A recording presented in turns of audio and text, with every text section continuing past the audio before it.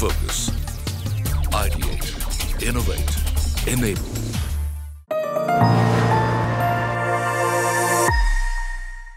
Hello and a very warm welcome to CNBC TV 18 presents Building the Indian Economy Importance of Dairy for Atmanirbhar Bharat. It is hard to believe that there ever was a time when India faced shortage of milk. From importing milk in the 50s and the 60s to be ranked first in the global milk production, we have really come a long way. India is the world's largest milk producer with 23% of global production, followed by United States of America, China, Pakistan, and Brazil. India's dairy sector is a perfect example of Atmanirbhar Bharat and is a progressively developing industry. India also hosted the World Dairy Summit for 2022 after a gap of about 48 years. Our special program today looks at dairy journey and celebrates the success of white revolution and deliberates on what next. Joining me today on this panel, my team of experts, Dr. R.S. Sodhi, MD Amul, Dr. Umakanta Dash, Director IRMA, Minesh Shah, Chairman National Dairy Development Board, Kinjal Shah, Vice President and Co-Group Head Corporate Ratings, ICRA. Welcome to the show. Dr. Sodhi, if I may start with you, what role has the dairy sector played in transforming India's rural economy? What, according to you, have been some of the milestones? Well, I can only say what it is today. Today, dairy sector is contributing to the India's GDP and the rural sector GDP by 9 lakh crore rupees per annum, which is around 5% of the GDP and 30% of the agriculture GDP in India. But if you go back, when India got independence, when the agriculture GDP was more than 70%, dairy was negligible, less than 1%. And today, it is more than 30% of the agriculture. So today, more than the rural economy, the women financial independence and the, their income has gone up. And today, average rural household is driving around 14% of their income from uh, dairy and animal husbandry. So gradually, if you see after 25 years, what today you mentioned 23% to the world dairy production, after 25 years, will be contributing 45% of world milk production because uh, every 25 years we multiply our milk production by 3x 70 if you see 74 it was 21 22 metric ton. About 50 uh, 25 years it was 74 and today three times more than 220 million metric tons. Uh, Minesh, if I can get you in, India has uh, one of the largest uh, uh, cattle inventories. And while our systems are robust, we are still witnessing outbreaks of various diseases. There have been challenges. What kind of efforts should go into our cattle care? We are working on uh, two pronged strategies. Actually, as you are rightly saying, the cattle productivity in our country, though we are the largest milk producer in the world, the cattle productivity is still a challenge. And so, for improving the productivity per animal, productivity of milk per animal, we are working on three aspects animal breeding, animal health, and animal nutrition. On the health uh, front, we are going for a massive uh, vaccination program, NADCP. It's a program where every cattle in the country is uh, vaccinated for FMD and brucellosis uh, every year, and 100% grant is being provided by government of India. On the nutrition front, we are working on uh, on the uh, di different uh, fodder uh, production, how we can support green fodder and also the nutritious feed for the animal.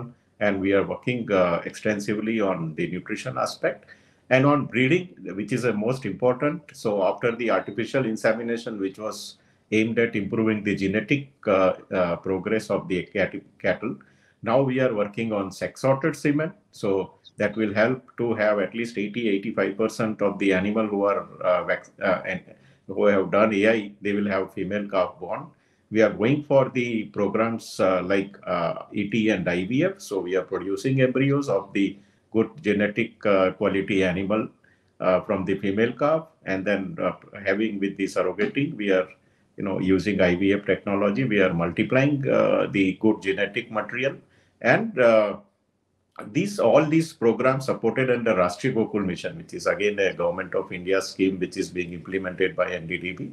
We are working uh, to improve the productivity of animal, uh, which will help us to grow further from here for milk production. Kinjal Operation Flood was launched on 13th January 1970. It was the world's largest dairy development program and a landmark project of India's National Dairy Development Board what have been the major learnings from Operation Flood and also the cooperatives? Uh, how this whole uh, setup can be replicated? Well, you rightly said that it is the world's largest dairy development program.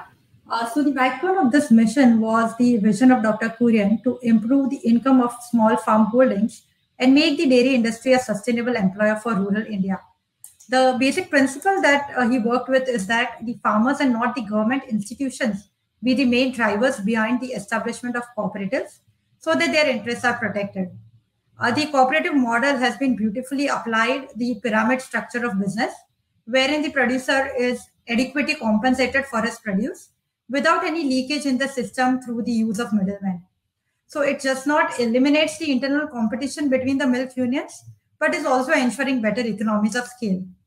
Uh, the other main learning from this entire structure has been the access these farmers have got to the pan India market, not just the local mandis, as well as for their exports of products, and not just the milk, but also the value added products. So, this has facilitated more farmers to join the initiative and follow an entrepreneurial route, which in turn is the backbone of the Atmanirbhar initiative we are talking about. So, I think in our view, uh, the cooperative model can be used in several other agri related sectors for sure, like fisheries, poultry, horticulture, which will further boost farmer income and also provide sustainable employment.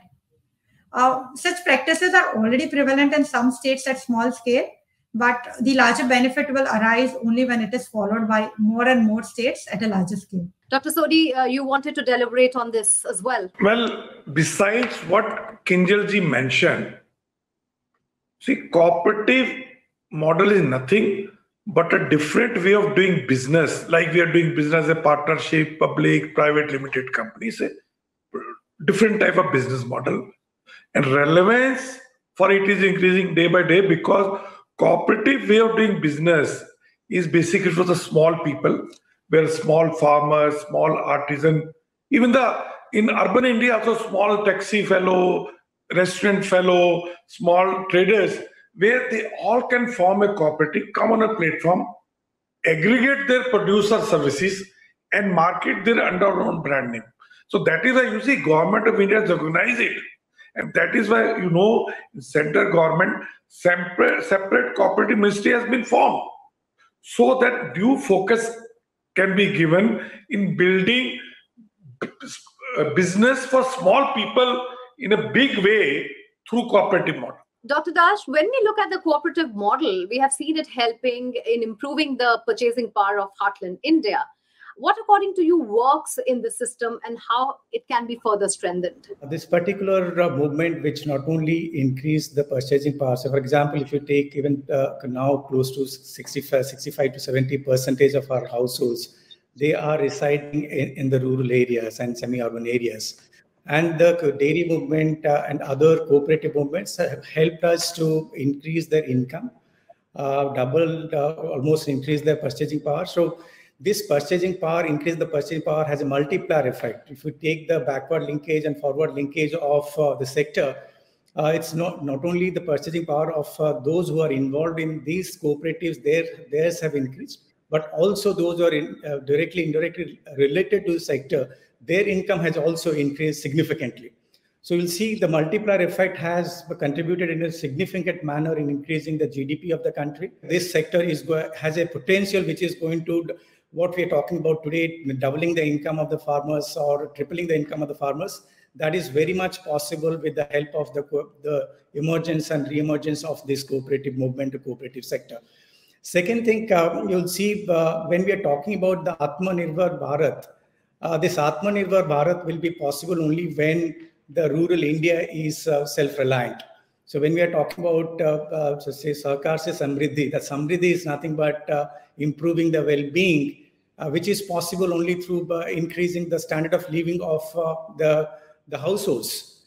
Uh, so that, therefore, you will see uh, the, the cooperation or the Ministry of Cooperation that we are talking about. It's not only the cooperatives, uh, say, existing only in the agriculture sector or other sectors. So now you'll see there is also a scope of cooperation between cooperatives and corporates so which is going to further increase the standard of living and the income of uh, the, the people who are involved in the cooperative sector. Dr. Sodhi, if I may come to you uh, on the same question, would want a comment from you on that. And also now uh, we are seeing a rise in direct to consumer deliveries in the dairy sector. What is contributing to this? And I'm sure it comes with its own set of challenges. See, what you talk about purchasing power of rural household is basically is the income they derive from selling their agricultural produce. In the in this case, it is milk. If I give you example, in case of Gujarat, every day 150 crore rupees given to the 18,000 villages of Gujarat, and that 150 crore is converted into purchasing power, purchase of other FMCG and other household goods at India level, total cooperatives per day are pumping around 600 to 650 crore rupees per day. And if you add private sector, because they also have to compete with the cooperative, they have to give another 500 to 600. So 11 to 1200 crore rupees, this organized sector is pumping into rural economy so they can buy FMCG and other things. And now coming to your uh, second question, direct to home. See, direct to home is very good and it is going to become day by day more popular. But for the milk of fresh product is very, very relevant because we want to buy every day. We want to buy in the morning and we may not like to go early morning out. So we have seen gradually in most of the city, direct to home milk and fresh product deliveries are increasing. And it is not only for milk. Now, with milk, you can sell, or the online uh, the platform can sell other things like uh, fresh fruits, uh, vegetables, eggs, poultry, meat, anything they can market along with the milk. So you can buy online all the fresh product. Kinjal, we are now going to the next level in our cold supply chain. Milk and milk products need the correct temperature. Gourmet products need correct temperature for storage and supply at all times. What kind of investments are needed for strengthening the cold supply chain and how can this be made financially viable? So definitely, I mean, I mean, throughout the value chain of uh, dairy, uh, the cold supply chain uh, plays a very important role. And currently, that's a major challenge that the industry is facing. Uh, so uh, if we see, I mean, most of the cold storage facilities are currently located near the point of production of the milk. But in the uh, supply chain downstream, upstream, there are not many facilities available. And this has resulted in uh, perishability of the products because of the longer time taken to reach the facilities and the end consumers.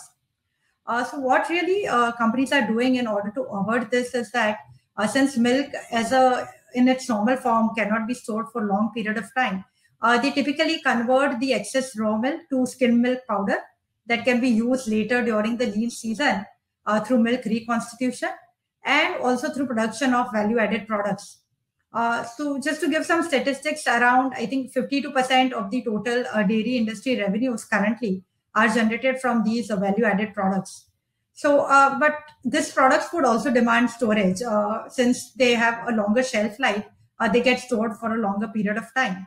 And given the sector's growth prospects, uh, significant investments will be needed in the supply chain overall for milk storage and delivery. Um, uh, to see the financial viability, uh, the Department of Animal Husbandry and Dairying uh, that has created some uh, 15,000 crore uh, fund to offer financial support to the industry on beneficial terms. and the government has also been announcing several PLI schemes to facilitate the infrastructure growth. So uh, that is really supporting the uh, development of infrastructure uh, in the industry and should support the growth in the times to come. Right. Let's slip into a short break at this point in time. But when we come back, we look at how technology is contributing into the dairy sector and what new trends are emerging. Stay with us.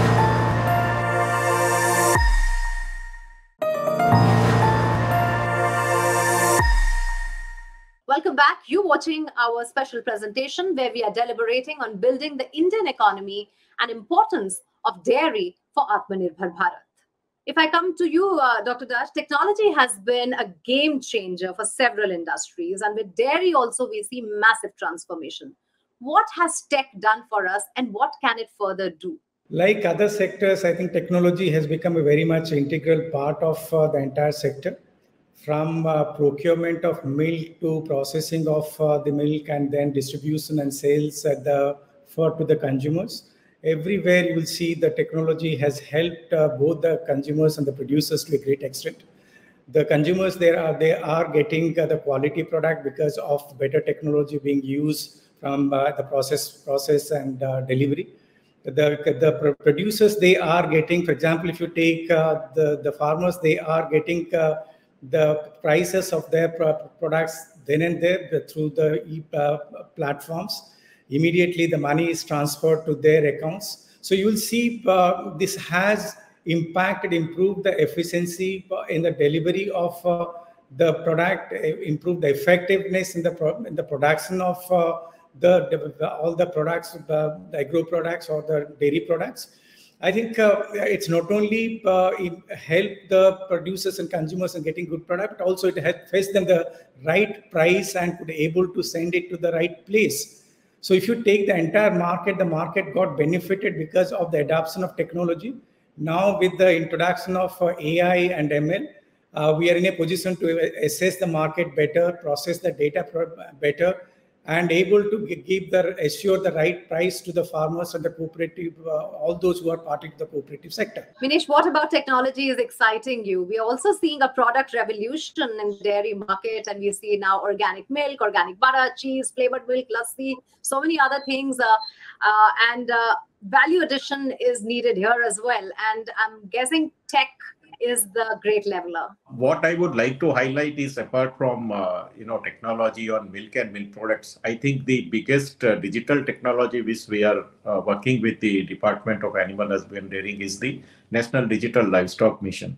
What we are trying to do is to have end-to-end traceability for the milk when it is milked at the farmer level to the uh, milk and milk products which is consumed by the consumer so entire value chain we are trying to have you know, traceability uh, setup uh, so that National Digital Livestock Mission is working for entering all the uh, data of all the animals. You know as you have told we have 30 crore animals in our country and we will have every animal with the ear tag uh, uh, you know entered into the portal. We started with a portal called INAPH at NDDB level and now it is accepted as a national database of 30 crore animal, we already have 20 crore animals data already recorded in the uh, portal. We also have the data for the owners, and that will enable us to have the digital technology, you know, usage where India has a, uh, you know, a plus point to establish that every milk which we produced, every treatment we do with the animal, every other, uh, you know, like AI or calving or any other activity which we perform on animal, will be available on the uh, portal for the policymakers to uh, decide right policy going forward. Dr. Sodhi, India has been successful in shoring up milk production. It's a mammoth task. How are these global standards maintained? As far as uh, Indian standards of uh, dairy products are concerned, I think it is matching, if not above the best of the world standard, be the codex or other because in India, FSSAI and other standard uh, monitoring agencies of central government, if you see, our standards are much higher than the other countries. And it is not only monitored by the various government agencies, but also the various brands and the cooperatives.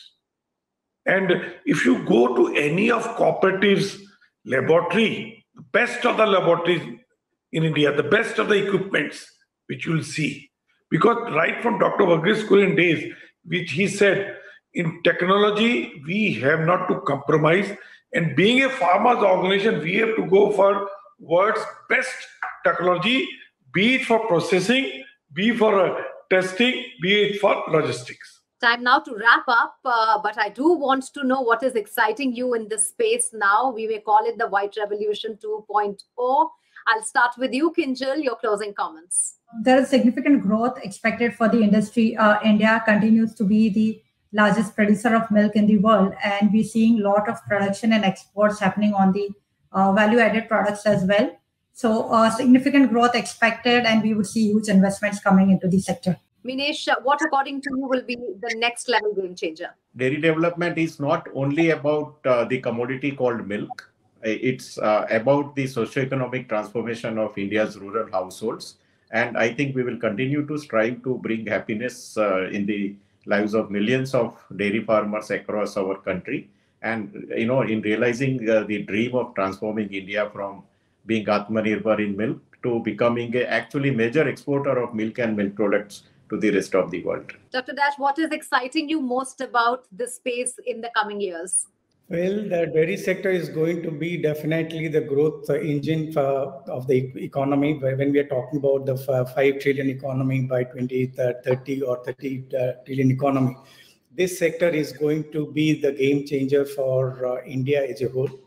And uh, it's going to happen soon. Dr. Sodhi, your closing comments, given that Amul is synonymous with milk. Uh, what about the space in the next few years leading to White Revolution 2.0 is exciting you? I can say because of our present most supply chain efficient model, where farmers are getting the best price and consumers are able to get a dairy products at affordable price, we are going to be word to the dairy, and they, you will see it is going to be dairy or animal husbandry is going to be the major source of rural economy. Thank you, everyone, for your comments and your time. This has truly been an insightful discussion. Well, dairy is the single largest agricultural commodity contributing 5% of the national economy and employing about 80 million people directly or indirectly. Much is being done by the government in the sector, and now there are incentive led schemes to promote investment by private players and MSMEs in dairy, meat processing, animal feed plants, which in return is expected to create 3.5 million jobs. Well, that's a great note to uh, end our special program on. Thanks for watching.